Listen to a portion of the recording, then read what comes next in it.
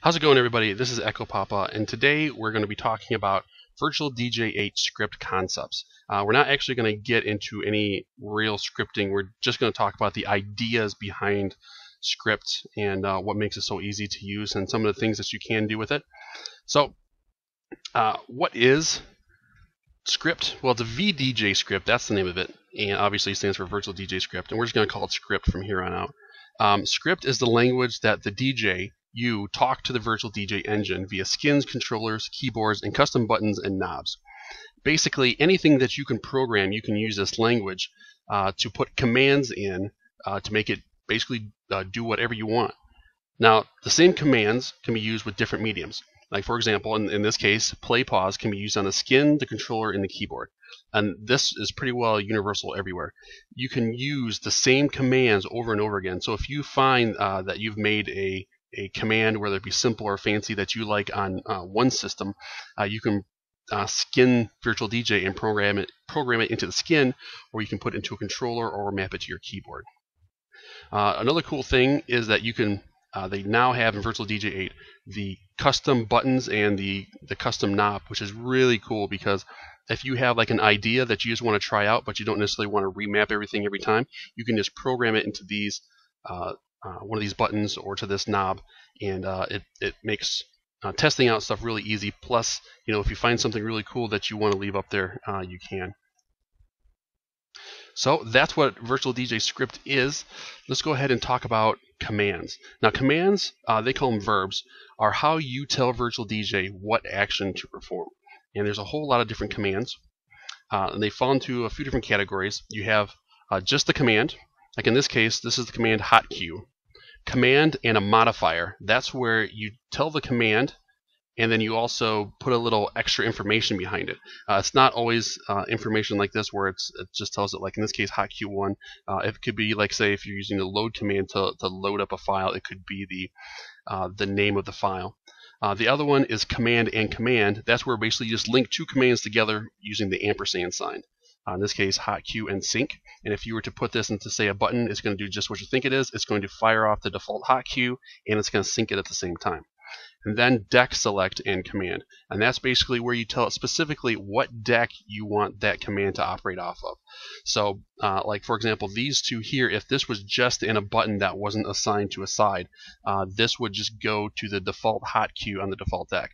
Where this one, deck 2, is going to specifically go to deck, cue, uh, deck 2. Uh, and you can use combinations of these. In this case, deck 2, hot cue 1, and sync. So it's going to do uh, the deck 2, fire off cue, but specifically hot cue number 1, and it's going to sync. Now here's some examples of some different commands that you can use, uh, plus some of their modifiers. Uh, sync, automix, go to, uh, cue, nudge. Uh, these are just some pretty cool different stuff uh, that you can do. Now, we're not going to go into the different uh, examples themselves, but um, uh, there's a lot of commands. If you go to virtualdj.com and uh, you go and, and, find their list of verbs, I mean, the list is massive. So uh, there's a whole lot of cool stuff that you can do. Next is the left and right deck. Now, most commands assume that when you want that when you press the left deck, for example on a controller, that you want it to play the left deck in Virtual DJ. Now this eliminates the need to program both sides of, of a device.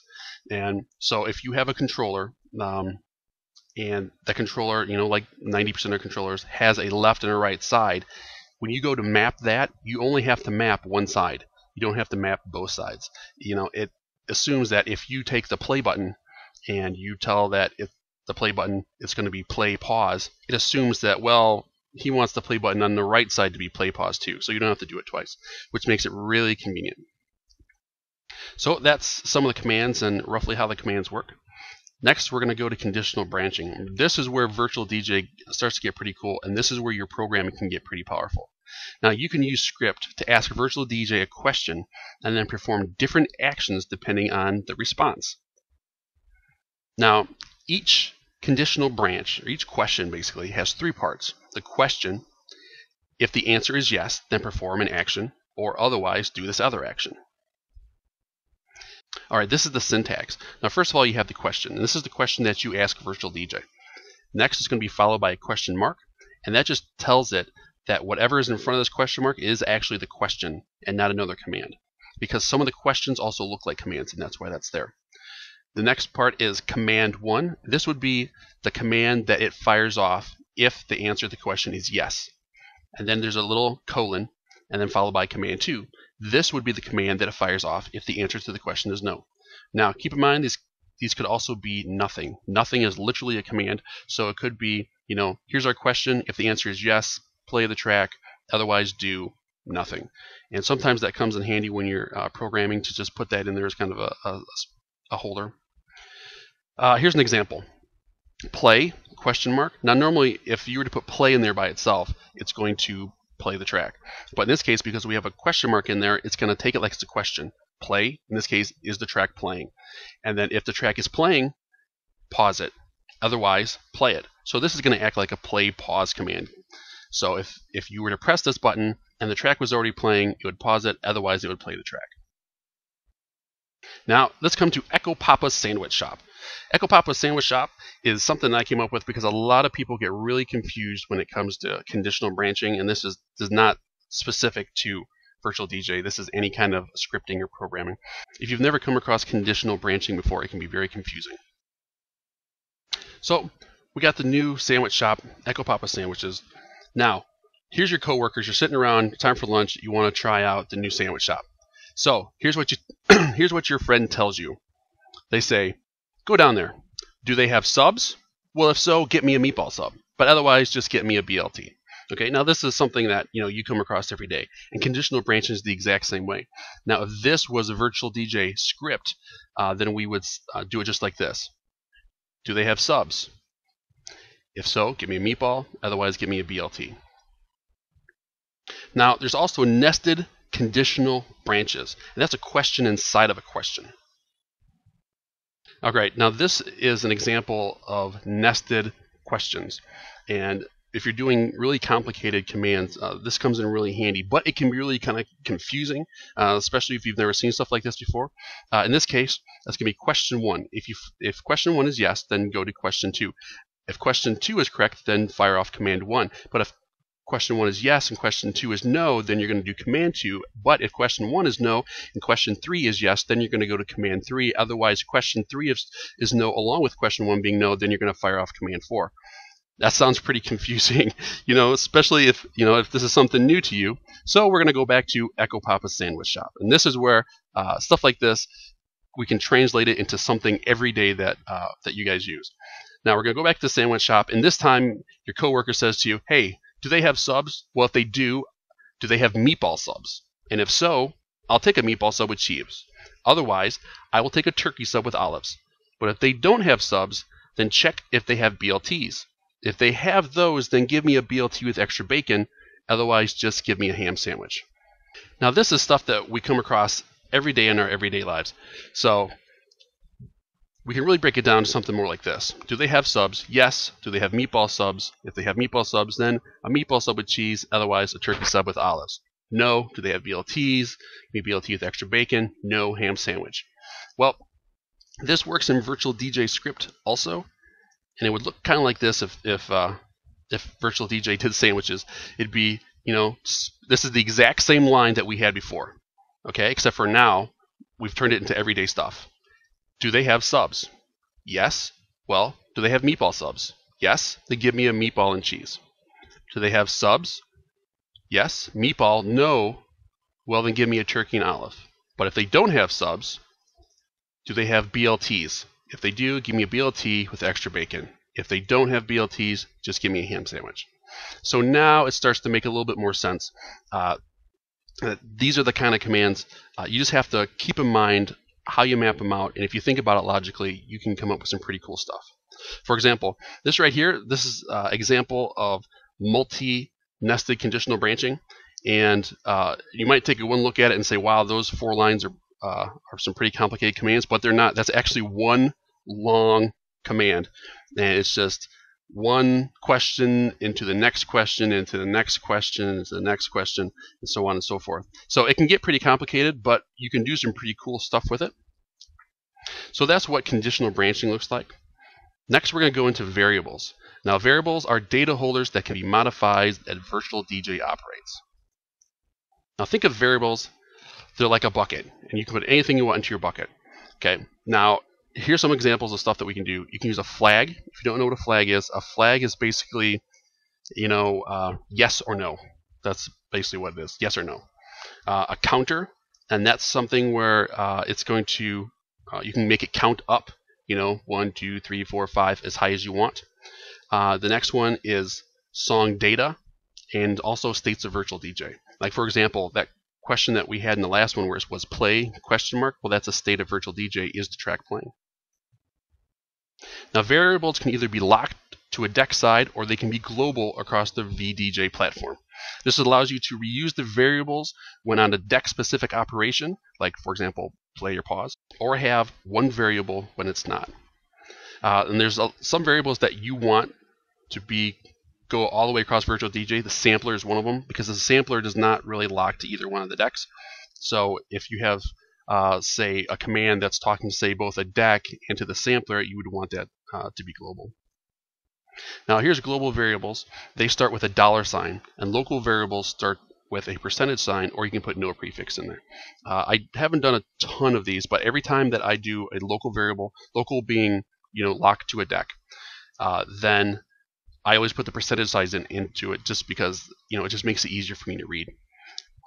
Um, so in this case, if we are to, you can make the you can name those variables anything you want. In this case, I've named two variables, Echo Papa and Echo Papa. Now, because this one has a dollar sign into it, this is global across all of Virtual DJ. This one is locked to a deck. So the upside too of having these uh, the local ones is like, for example, let's say you program a really cool script and uh, you plug it into a button.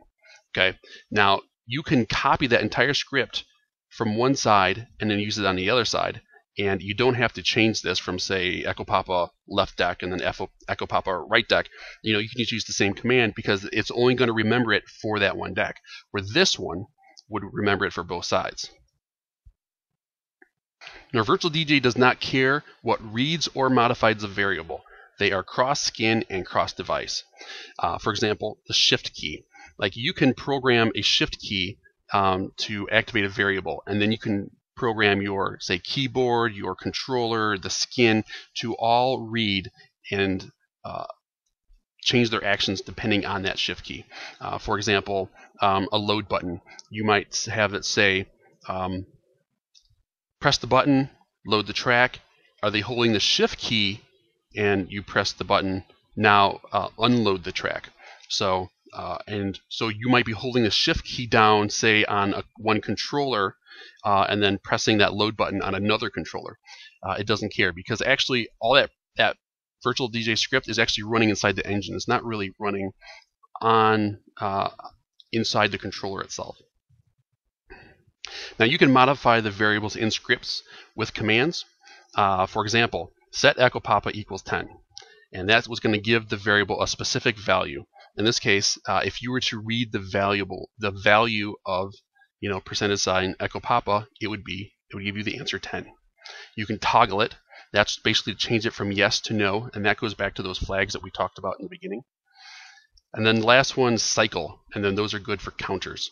Uh, because, for example, if you might want uh, something to do five different things, and then uh, you can make it count or cycle and uh, when it comes back to it every time it's going to perform a different function. So cycles can be uh, can be pretty handy too.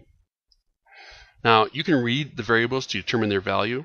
Uh, and here's what some of the commands look like. Uh, variable percentage echo, echo papa variable equal to percentage item echo papa variable not equal to greater than smaller than. You know what we would use uh, some of these for would be like for example the equal sign. You know remember on that last part where we said uh, let's go echo papa equals 10 you might have a question and a button. You press a button and it, and it asks the question um, equal sign. The or variable equal uh, echo papa does it equal 10 and uh, if the answer is yes it can do one thing. If the answer is no it can do something else. In the same uh, way, you could do not equal to, greater than, smaller, uh, all kinds of options there for you. Now, you can use that decision to make decisions. Like, for example, here is some of the, uh, the conditional branching that we had before. Uh, in this case, we have the command variable equals echo papa 0 question mark. And now it's going to say, okay, well, all this is a question. And it's going to be the variable does it equal, and then here's the variable, and then here's the answer. So does this equal 0? If so, loop in, otherwise loop out. So let's say that this was a flag, and what you're using is say yes or no, or you can use 0 and 1. Then you can use one button to mean the same thing. And if, uh, let's say you press the button and this echo papa is 0, then it would loop in. But then if it doesn't equal 0, you hit that button, then the command would be loop out. Same thing with this, smaller if uh, the value of echo papa is smaller than 4, then it's going to do a dump. Otherwise, do, uh, do a backspin. In this case, not equal to. So if it's the answer to echo papa is not 1, then it's going to load the track, otherwise unload the track. So those are variables and uh, some of the cool things that you can do with them. So in conclusion, you can use a combination of commands, conditional branching, and variables, and you can make Virtual DJ do nearly anything. And that's the truth. You know, I uh, I don't do a lot of complex commands, but uh, you know, if you go back to some of the other videos, when you do uh, look at things like, um, for example, mapping two effects to one button, well, uh, that's basically just linking two commands together, and uh, you can do some pretty fun stuff. So anyway, that's Virtual DJ 8 script concepts. And my name is Echo Papa, and I will talk to you later.